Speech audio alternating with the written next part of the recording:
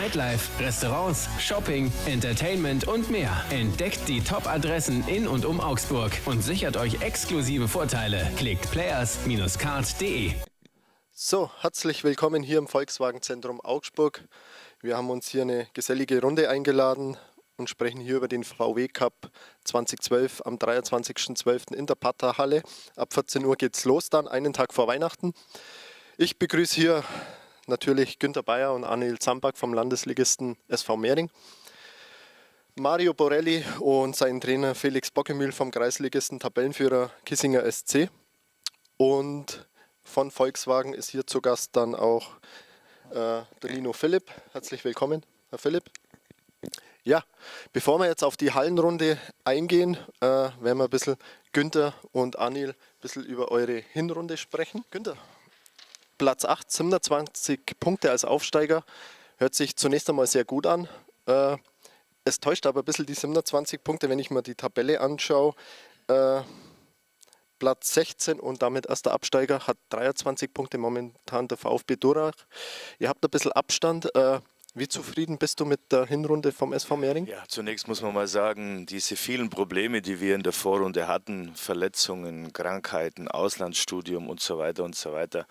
Ich hatte vom Anfang an nie meinen kompletten Kader zur Verfügung. Und wenn man das alles mal ins Kalkül zieht, dann muss man sagen, sind wir mit diesem achten Blatt schon irgendwie zufrieden. Uns bleibt ja auch gar nichts anderes übrig.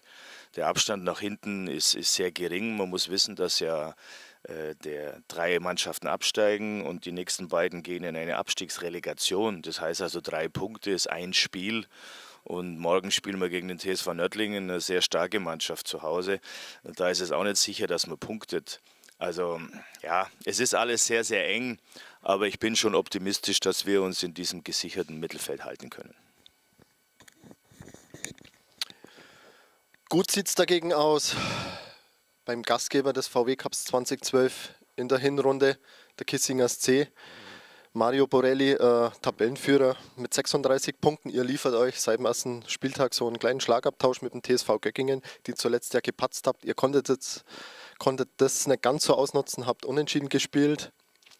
Für Schlagzeilen habt ihr auch gesorgt, äh, die Trennung von Jochen Hoffmann, Nachfolger äh, momentan Interimstrainer, vielleicht bleibt es ja auch so bei der Lösung, ist der Felix Bockemühl, der hier zu Gast ist. Felix, Platz 1 mit dem Kissinger SC. Ihr geht als Tabellenführer eventuell in die Winterpause, die jetzt dann ansteht. Zwei Zähler vor dem engsten Verfolger TSV Göckingen. Du hast zuvor die zweite Mannschaft trainiert und da was erreicht, was nicht jeder Trainer vorweisen kann. Du bist mit zwei Mannschaften äh, Herbstmeister geworden. Herzlichen Glückwunsch erst einmal dazu. Äh, zufrieden mit der Leistung, mit dem Erreichten bisher vom Kissinger SC? Und wie ist es, wenn man als Trainer der zweiten Mannschaft plötzlich in den Fokus rückt und die erste trainiert? Also Otto, vielen Dank erst einmal. Vielen Dank für die, für die ganze Runde. Ähm, erst die Frage, ob es wirklich, wirklich ein Unterschied ist, erste oder zweite Mannschaft zu trainieren im Seniorenbereich. Würde ich sagen, nein. Unterschied ist das Tempo. Die Jungs, das ist in jeder Mannschaft das Gleiche. Beide als erste oben an der Tabelle. Noch grüßen wir von oben. Ich hoffe, dass das auch im, im Juni am Ende der Saison noch so ist. Wie sich das Ganze entwickelt, das werden wir schauen. Wir denken jetzt beim, beim Kissinger SC aktuell Woche für Woche von Spiel zu Spiel. Eben auch durch Unterstützung von Mario, Unterstützung von Sascha Mölders.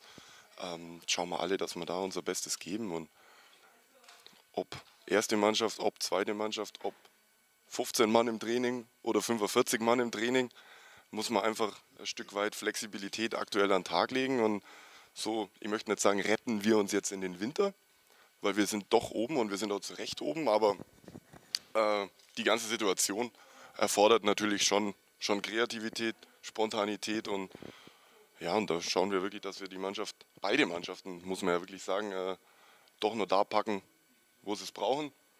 Und wie sich das nach dem Winter, Winter gestalten wird, ich denke, da kann der Mario dann mehr dazu sagen. Aber insgesamt, klar, für mich die Situation sehr zufriedenstellend. Mario Borelli, äh, Tabellenführer mit 36 Punkten. Ihr habt die Liga dieses Jahr gewechselt, was euch gut tut, sieht man ja.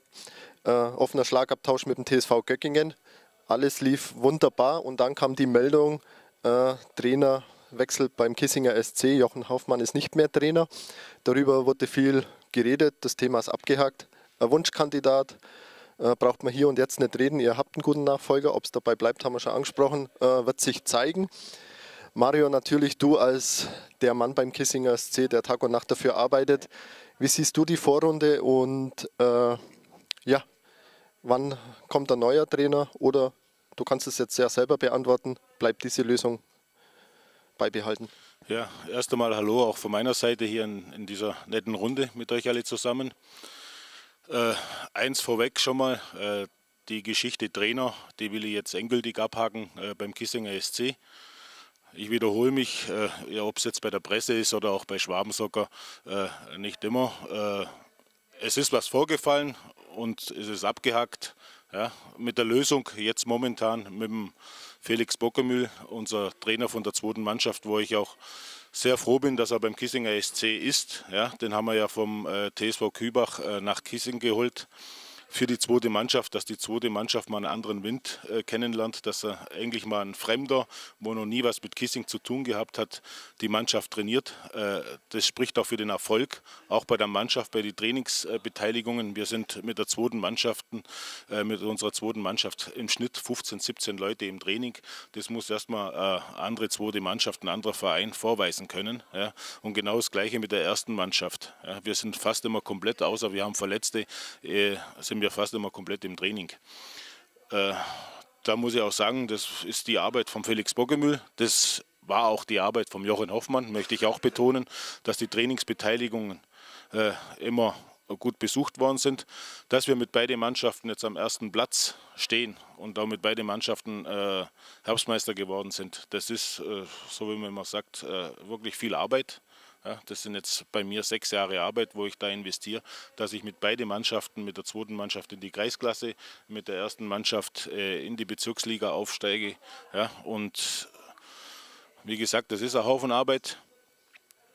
Wie es bei uns weitergeht, äh, Interimscoach Felix Bockermühl, zweite Mannschaft Felix Bockermühl, na klar kann das nicht so weitergehen in die Zukunft. Ja.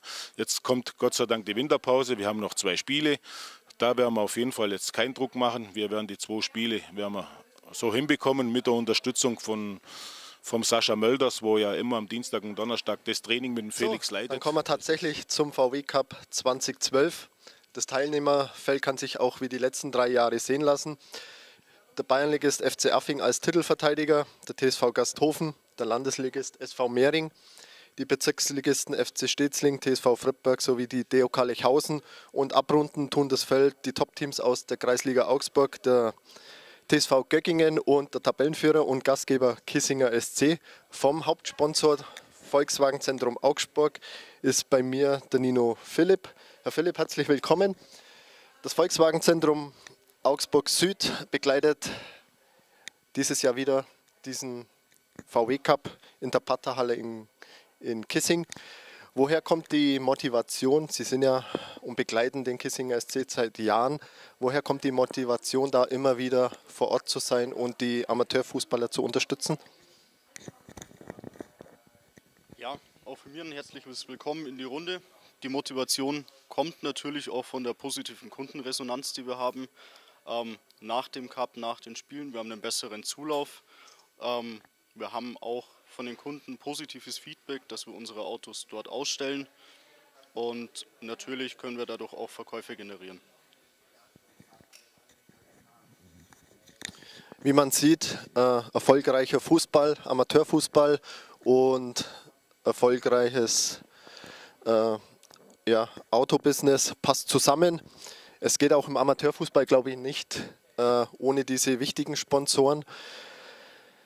Sie haben es angesprochen, Sie werden auch Autos vor die Tür stellen in Kissing. Hat der Kunde dann auch, der Besucher des Cups, die Möglichkeit, die Autos vor Ort genauer unter die Lupe zu nehmen oder mal eine Probefahrt zu unternehmen?